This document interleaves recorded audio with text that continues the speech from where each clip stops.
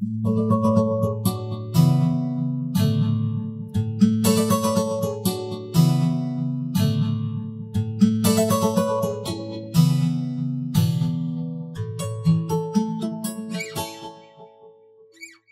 today we're going to talk about paint stripping.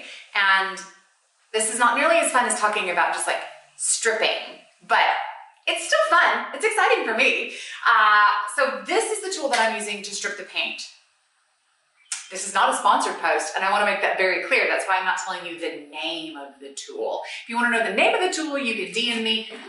Look, I think this tool is obscenely expensive. I feel like it's overpriced for what it does, and that's why I've never bought one before.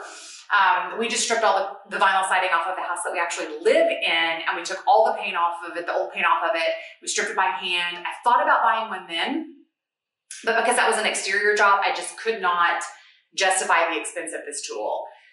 But here in this house, we have a plethora of paint removal to do. Like it's it's it's it's outrageous how much paint removal we have to do. We're going to try to strip the paint off all the interior doors, um, off of the the back side of the front door, and I'm going to strip this entire newel post, the spindles, the banister, um, and the guy that's going to refinish all of these for us will not touch anything that has lead paint on it. And we know that the woodwork in the house has lead paint on it. Look, I'm probably cooking it right now.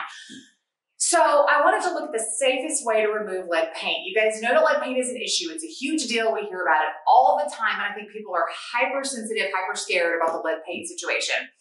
But there are two times that lead paint is really, really dangerous. The first time that lead paint becomes dangerous is if it is dust. So if I were to sand this and then breathe those dust particles, it's very, very dangerous. Then if it becomes vapor, if it's vaporized, the vaporization point of lead paint is a thousand degrees Fahrenheit. That's 532 degrees Celsius. So heat guns, standard heat guns that heat up to you know, anywhere from 1200 to 1500 to 2000 degrees are going to vaporize that lead. And so if you're not wearing full protective gear when you're, when you're stripping the paint, you're going to be inhaling those lead fumes that are very dangerous. Another problem with standard heat guns, especially on an interior application that kind of freak me out, is there's a real chance of fire. They get so hot that if you leave it on your wood just a little bit too long, you can catch it on fire. Um, if you're using them on exterior applications and you're doing lap siding, if you're doing it in that, that area, you can actually get little sparks that will get in the little embers that will get in between part of your clapboard and can cause a house fire. So I'm really uncomfortable using a heat gun. I don't like to do it unless I'm doing it in a very controlled environment, like I'm stripping doors, and I'm doing it outside on some sawhorses. Okay, sure. But I still have to wear a respirator, and I really didn't want to do that um, the whole time I'm stripping paint in this house because it's going to be a weeks long process that we're going to have to undertake. And, you know, we're having to wear masks enough right now as it is. I don't want to have to do one when I'm doing these projects in my house alone. I'm seriously, I'm alone in this 5,200 square foot house. There's no reason for me to have a mask on. So for this project, I did invest in an ultrasonic paint removal tool. What makes this different? What makes this special is that it's ultrasonic and its highest temperature that it gets to, if I use it correctly, is only about two to 300 degrees on the paint. So nowhere near hot enough to get that lead paint to a vaporized level, but hot enough to cause all these layers of old paint to bubble up and for me to be able to remove those safely. Now, you decide that you do not want to invest in the ultrasonic paint stripper, which I do not blame you at all, again, it is very expensive, go on the website and buy this stripping tool. I've been using it all day. Can you see the way that it's shaped? I hope you can. This is the, look, it looks like the Star Trek Federation emblem. Beam me up, Scotty. Random thoughts by Laine. This is the best stripping tool I've ever used in my life. And when I spent the fortune to buy this, and then they made me buy this separately, I'm gonna be honest with you, I was highly annoyed. I was highly annoyed that I had to pay like 30 extra dollars or maybe 40 extra dollars for the stripping tool. Best money ever. Like legitimately the best money I've ever spent on a restoration tool, a stripping tool. I love it. I will never be without this tool. And when the blade gets dull, I will sharpen it. And when I cannot sharpen it anymore, I will buy more blades. So I highly recommend this tool, but I kind of wanted to show you what this paint stripper does. And I hope you can see. So you just hold it at your paint site for, you hold it about two inches off the paint. It says two to three seconds, but it also says long enough that the paint begins to bubble and smoke. So my paint's starting to bubble and smoke. Run that down there, and we are down, you can't really tell probably there, I'll scoot the camera up, but we're down to bare wood already. Do it again. Bubbling smoke, bubbling smoke. Boil, boil, toil, and trouble. Scrape it off. Now, the guys who are like real pros with this tool have this system perfected where they like heat and strip and heat and strip and heat and strip, and it's like one beautiful motion. I don't have that down yet. I'm gonna get my technique down. But right now, I'm telling you, I hate chemical strippers. Um, they make a mess. I have never really had a lot of luck with a chemical stripper because they, even the organic stripper, so they make a lot of mess and then they tend to open the grain of your wood a little bit. Anytime you put a liquid on wood, it's going to open the grain. And you're to lose a little bit of the beautiful finish that you have on antique wood. Part of what makes antique wood so gorgeous is that tight, tight, tight grain and the smooth wear patterns that you have in the finish.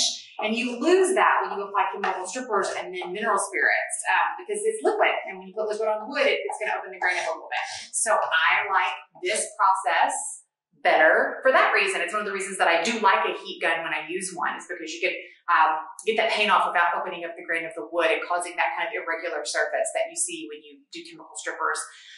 Anyway, so I'm going to give you a couple close-up shots of this and then I'm going to give you a time lapse of stripping the paint off the newel post so you can see really how simple this tool makes it and how quickly you can create, you can complete a task that would have taken oh, so much time if I was doing sanding or chemical stripping. So let's get some close-up shots and a time lapse and see how it goes.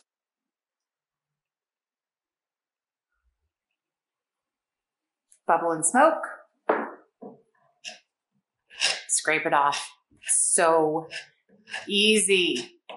So easy.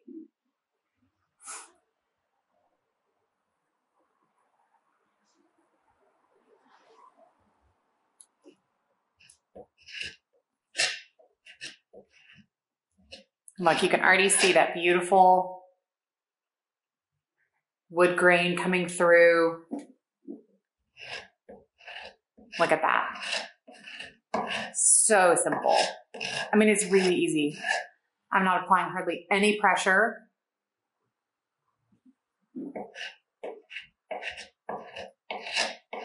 And we're seeing the wood grain on this beautiful newel post for the first time, probably in, I mean, it's probably been painted for like 70 years.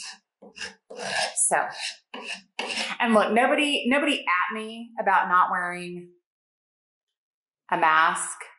I know there are some of you who are like so terrified of lead paint, and I get that. It is a danger.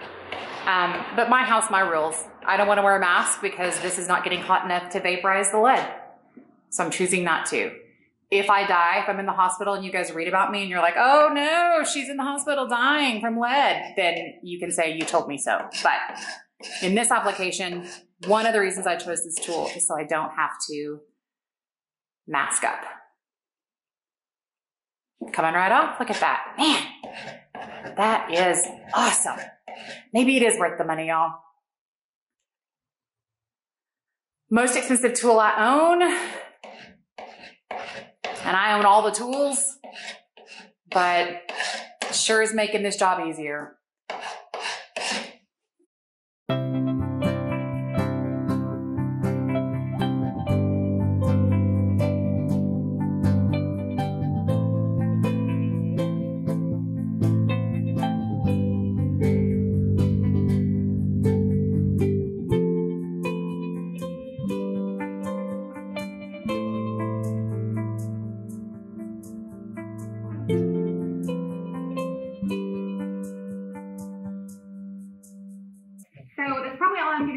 Time lapse because that's kind of all you can see. Um, This is great, y'all.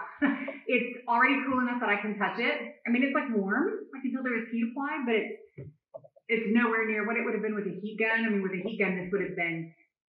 I would not have been able to touch this for a long time. Wood does conduct heat, obviously. It's what we make fire out of. So, um, it.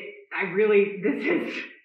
You know, I went on that rant about how this tool is too expensive, but that may be the best money I've ever spent on a tool. I got to tell you, this entire thing that you just watched was like maybe three minutes, five at the most. Um, and the hardest part was that I had to stand up and my wrist is a little bit sore from dragging the scraper. I'm gonna have to go back and do some of these spots where some of the lead paint is down in the groove. Um, but I mean, that's not gonna be a big deal. That's a light sanding. I can take care of that. This beautiful newel post that's been covered up with at least three coats of paint over the last 70 years is going to look like brand new pretty soon. And this disaster of a house is going to look like brand new pretty soon. Well, brand new, um, 150 years ago. How about that? So I'm really, really, really pleased with the job that this is going to do. I'm going to stick around and do a little bit more. I'm going to try to post some pictures later of what she looks like when she's naked for the first time in a 100 years uh, so you guys can really see what this tool can do. Doesn't smell bad, couldn't smell anything, um, doesn't, didn't burn me with my gloves on, no mess. I'm just gonna have to clean up this paint down here on the floor, but I can do that and then dispose of it safely. We will this up, double bag it, tape it, dispose of it safely. Um, I give this two thumbs way, way up. Oh, I'm so excited. Now I can strip everything in the house. Mind you, I said strip everything in the house, not strip in the house. There's a big difference between those two. But I think this is going to be awesome. Awesome. Thanks, guys.